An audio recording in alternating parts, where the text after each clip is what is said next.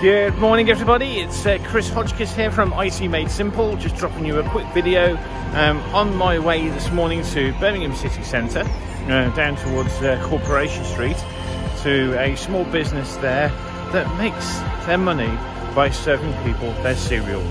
They call it the Cereal Bowl and uh, we're going to go there this morning to set up a projector in their games area. So if you want to follow me, uh, we'll make our way down.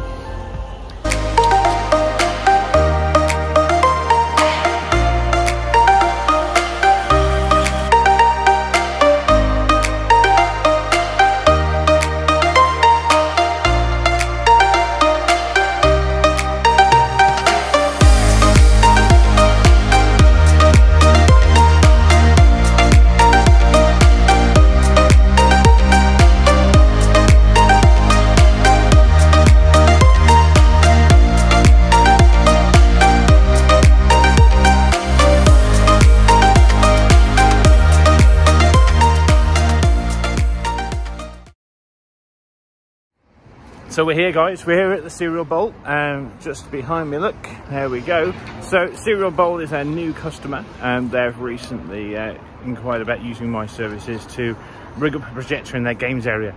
You ready to go and have a look inside? Because I am. It's pretty cool here, you'll like it.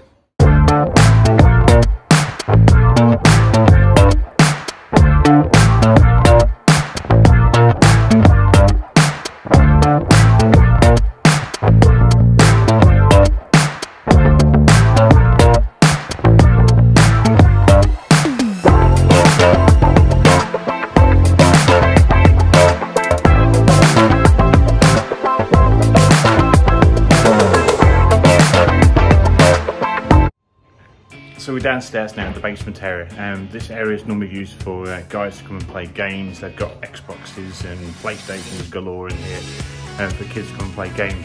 And the challenge is to get the sound from the projector just above me, just here, um, into the surround sound system.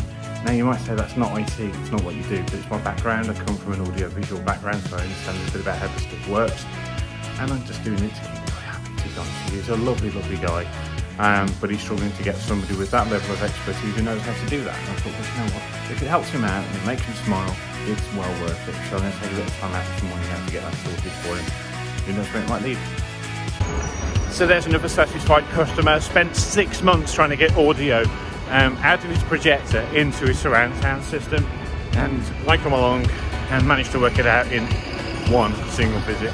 This is the difference you see in using an expert you might as well use somebody who really knows their stuff. You might as well spend hours trying to sort it out yourself. Or just get somebody in who knows what they're doing. That's me. So here we go. Let's go to Cornwall Street and go and do some networking. See you soon.